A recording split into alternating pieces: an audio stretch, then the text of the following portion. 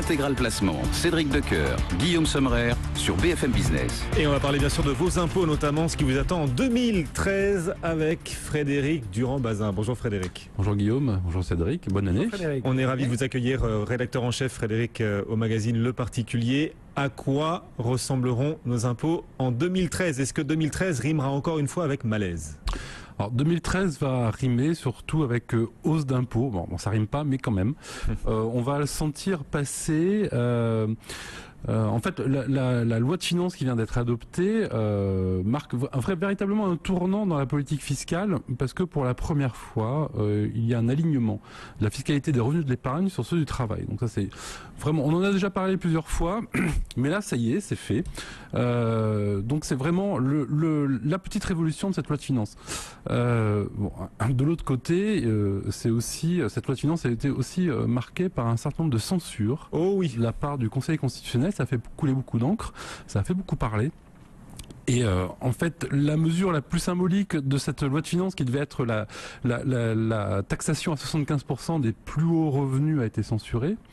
Euh, mais c'est pas le seul euh, dispositif. Hein. Ça, c'est l'arbre qui cache la forêt. Parce que derrière, il y a une petite demi-douzaine de mesures qui, euh, qui n'ont pas euh, passé le cap euh, du Conseil constitutionnel, notamment la réforme des plus-values immobilières, ça on n'en a pas parlé, mais on, l'avait évoqué plusieurs fois au cours des dernières chroniques, et cette mesure a été totalement censurée. On reviendra dessus, on vous expliquera pourquoi. C'est également le maintien du, plafonnement proportionnel des niches fiscales, ça aussi, c'est passé à la trappe. Mais et au-delà de ça, le Conseil constitutionnel a donné pour la première fois, de manière implicite, mais euh, de manière assez précise, le, le seuil de revenu pour le seuil d'impôt, pardon, au-delà duquel on peut euh, considérer que euh, la, la, la, pression fiscale est confiscatoire. Donc ça, c'est l'autre leçon à retenir de cette loi de finances. Le niveau, c'est 70. Donc 75. voilà, on est entre exactement, c'est entre 70 et 75 tout compris. Hein, donc c'est-à-dire les impôts directs plus les, prélèvements sociaux.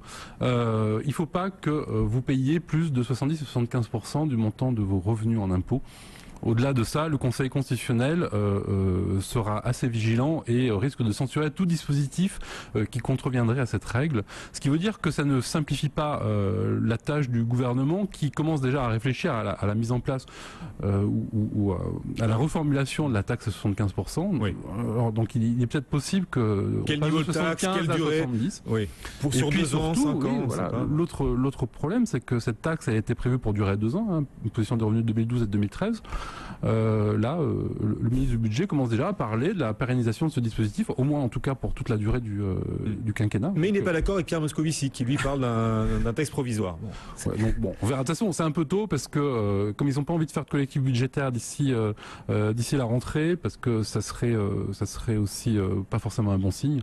Donc il est probable qu'on ne, on ne voit les contours de cette nouvelle taxe que à la rentrée. Pour les très hauts revenus, donc le gouvernement ouais. est en train de revoir sa copie. en attendant, qu'est-ce que la loi de finances va changer pour le, pour le calcul de l'impôt sur le revenu qui est quand même la principale modification? Alors, la, la, la mesure qu'il faut retenir, c'est que euh, cette année, comme les années précédentes, enfin, comme l'année précédente, euh, on assiste à un gel du barème de l'impôt sur le revenu. Alors, a priori, euh, ça reste anodin comme ça, mais sauf que euh, euh, si on ne réévaluait pas euh, le montant du barème euh, en fonction du montant de l'inflation, forcément, pour tous ceux dont les revenus suivent peu ou prou les, revenus de l'inflation, euh, l'évolution de l'inflation, pardon, on va assister à une hausse des impôts euh, qui va être de l'ordre de 2%. C'est en fait c'est l'inflation provisoire, enfin telle qu'elle avait été calculée, budgétisée dans le dans le dans le dans la loi de finances.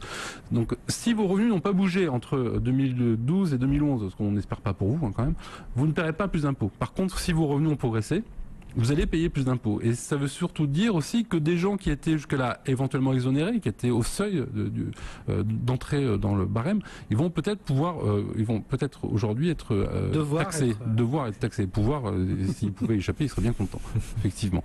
donc ça, ça c'est la première, ça c'est la première mesure qu'il faut retenir.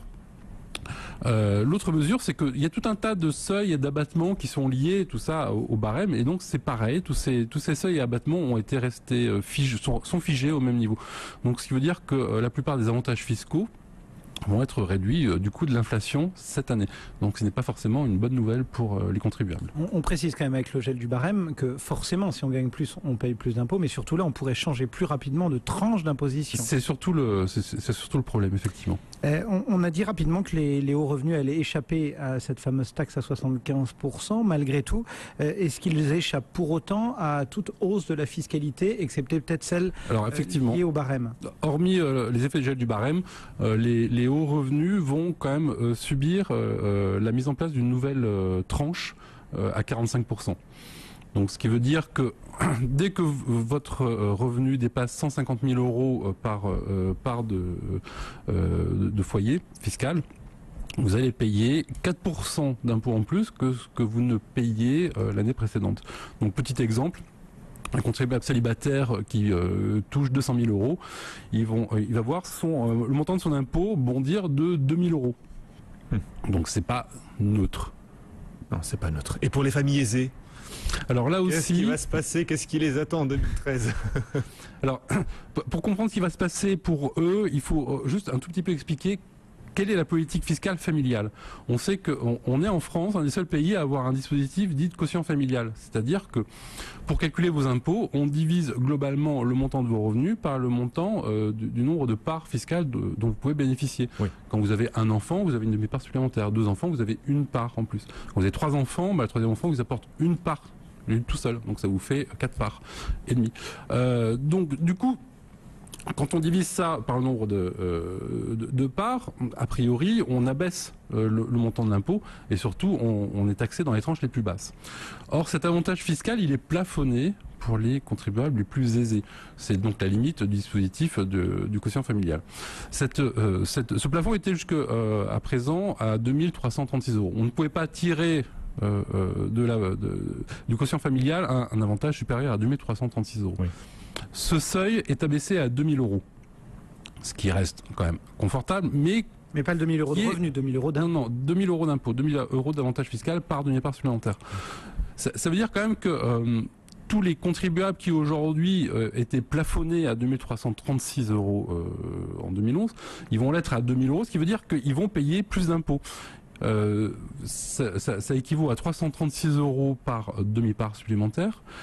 On a fait le calcul pour un couple qui a quatre enfants. Cette mesure peut se traduire par une augmentation d'impôt qui peut aller jusqu'à 2016 euros.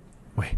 Donc là aussi, les foyers les plus aisés sont quand même mis à contribution. Ouais, très clairement, et certains y ont vu euh, voilà, une, euh, une égratignure à la politique familiale en France. C'est une petite égratignure Ouais. parce que je ne pense pas qu'aujourd'hui on, on décide de faire des enfants en fonction de la politique fiscale. Espérons.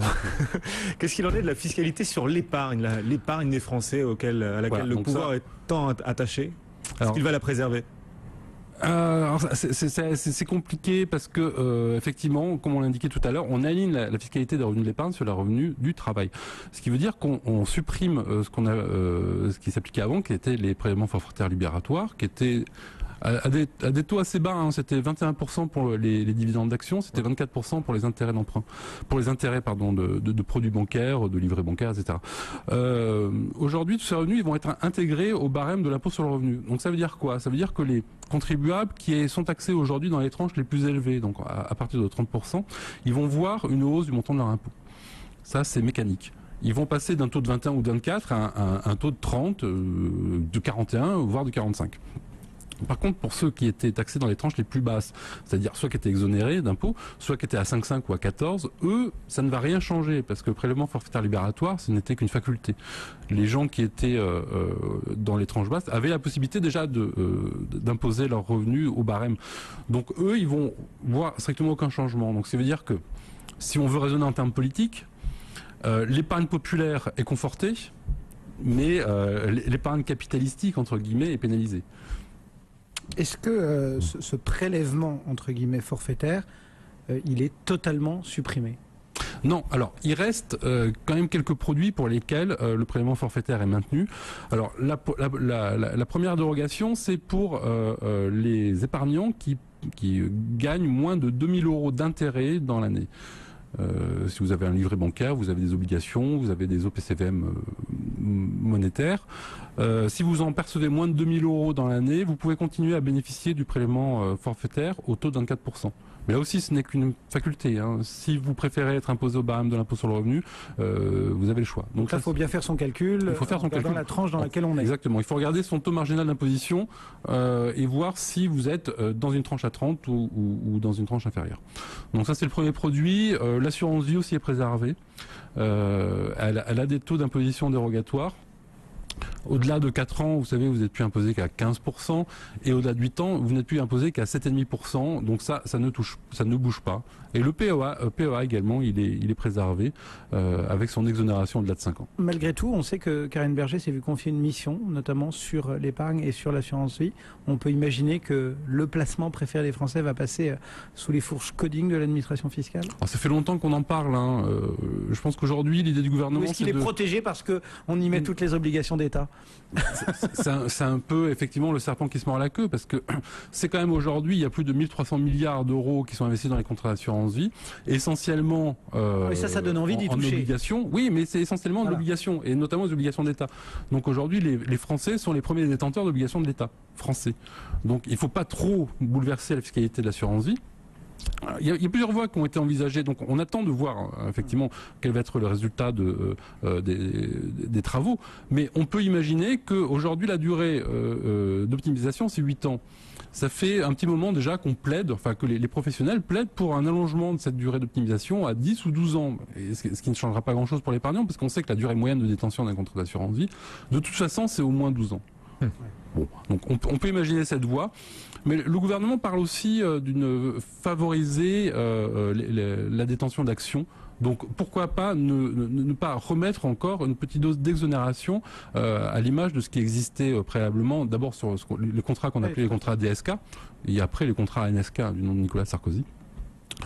Donc on peut, on peut tout imaginer, mais on, on, non, par contre, on ne peut pas imaginer un bouleversement fondamental de la fiscalité de l'assurance vie. Oui, parce que parce que on touche pas à ce qui fait trop mal. Hein. Ah ouais, et surtout tout naturel. Euh, c'est quand même, c'est quand même le, le premier pourvoyeur d'épargne des, Français. Très clairement. Ouais. Euh, vous parliez aussi du PEA relativement préservé. Est-ce ouais. que les plus-values boursières, elles, seront davantage taxées, imposées cette année? Bah, là encore, je vais vous faire la réponse de Normand, ça dépend. Ah. Euh, Jusqu'à présent, peut-être ben oui, peut-être non. Jusqu'à présent, les plus-values étaient taxées à 19% en 2011. Hein. 2012, c'est un peu, euh, c'est déjà euh, surtaxé à 24%. Donc les, les plus-values que vous avez réalisées l'an dernier et que vous allez, dont, dont vous allez payer l'impôt cette année, ça va être 24%. Oui. Et pour les plus-values que vous allez réaliser à partir du 1er janvier, eh ben, ça va être intégré au barème euh, de l'impôt sur le revenu, comme les, les autres revenus de l'épargne. Donc là, pareil, si vous étiez, euh, si vous êtes dans une tranche à 30% ou plus, eh ben oui, vous allez être pénalisé. Oui. Si vous êtes dans une tranche inférieure, non, vous allez être préservé. en, en contrepartie de ça, il faut quand même évoquer le fait que le gouvernement a mis en place un système d'abattement pour durée de détention. Donc vous allez bénéficier d'un abattement de 20% sur le montant de votre plus-value si vous détenez vos titres euh, depuis plus de 2 ans et moins de 4 ans, 30% si vous les détenez entre 4 et 6 ans, et 40% qui est l'abattement maximum si vous les détenez depuis plus de 6 ans. Le but là c'est de favoriser l'investissement boursier plutôt que le trading. Euh, c'est de favoriser la détention longue d'actions, voilà. effectivement. Euh, du côté des niches fiscales, euh, il y a pas mal de, changements parce que le gouvernement voulait maintenir certaines niches. Finalement, le Conseil constitutionnel a dit non. Alors. Euh, on, peut au moins regarder la bonne nouvelle, c'est que pour la première fois depuis 4 ans, on n'a pas raboté les taux des différents dispositifs de réduction d'impôt ou de crédit d'impôt. La mauvaise nouvelle, c'est que par contre, le gouvernement y a été assez fort sur le plafonnement global des niches fiscales. Il faut rappeler que au départ, les, les, les niches fiscales n'étaient pas plafonnées, donc on pouvait, on pouvait réduire à néant le montant de son impôt en investissant, euh, par exemple, dans les dom-tom ou euh, euh, dans des dispositifs Sofica, etc. Euh, le gouvernement précédent a mis en place un dispositif de plafonnement qui était de 25 000 euros plus 10% de montant de ses revenus, ce qui était quand même déjà euh, assez confortable, mais qui, était, qui marquait quand une, une, franche limite. Là, le gouvernement a, a vraiment coupé euh, assez violemment euh, dans ce dispositif. On n'a plus le droit de défiscaliser qu'à hauteur de 10 000 euros. Point. Point. Donc ça, euh, c'est un élément à prendre en compte euh, au moment où vous allez décider de faire de la défiscalisation, parce que y a un certain nombre de dispositifs dont vous pouvez bénéficier déjà euh, par le, biais de votre situation. Hein. Vous avez un employé de maison qui va chercher vos enfants à la crèche ou, à l'école et qui vous les ramène, ça ouvre droit un, à un crédit d'impôt. vous venez de faire l'isolation dans votre maison, là aussi, ça ouvre droit à un crédit d'impôt. Et, ça va manger sur ce plafond. Donc euh, il faudra regarder le plafond dont vous disposez, euh, enfin le reliquat, pour voir si vous avez besoin ou pas de faire la défiscalisation. Ouais. Voilà. Alors, euh, ce qu'il faut savoir, c'est que quand même, il y a deux dispositifs, trois dispositifs hein, qui sont hors champ euh, euh, de ce plafonnement à 10 000 euros. Euh, c'est euh, les investissements ultramarins, donc les fameux investissements dans les dom-tom, et la réduction d'impôt en faveur des Sofica. Donc c'est- Oui. ces dispositifs, eux, sont soumis à un plafonnement spécifique de 18 000 euros. Et Sofica, on le rappelle, c'est pour le cinéma. Pour le cinéma. Le gouvernement voulait laisser 18 000 euros plus 4%. Le Conseil constitutionnel a dit 18 000 euros, ok, les 4%, non. Eh bien voilà, voilà, panorama très complet de ce qui nous attend cette année 2013 sur le plan fiscal. 2013 va-t-il rimer avec malaise? Oui, un malaise qu'on avait tous euh, Un malaise anticipé euh, quand même. certain. Voilà. Frédéric Durand-Bazin, vous restez avec nous Frédéric? Oui. On va répondre à tous nos téléspectateurs qui nous envoient nos- leurs questions sur leur argent sur notre site bfmbusiness.com. À continuer, vous êtes très nombreux chaque jour à nous envoyer vos questions et on vous répond chaque jour à 12h05. Ce sera donc tout à l'heure avec Frédéric. À tout à l'heure Frédéric.